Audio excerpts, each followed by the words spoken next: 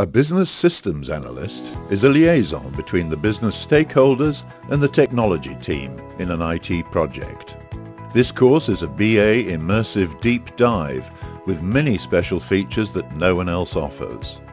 You work hands-on on a real project that you can use on your resume.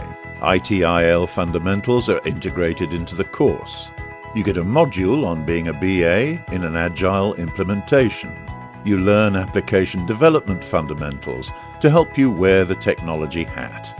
User interface design, data modeling and non-functional requirements are taught as an extra bonus. And remember, you get the BA Tools e-learning, dozens of sample resumes, real project documentation, interview question and answer ebook, and two mock interviews completely free when you purchase this course. Learn more by watching the free preview of Class 1 below.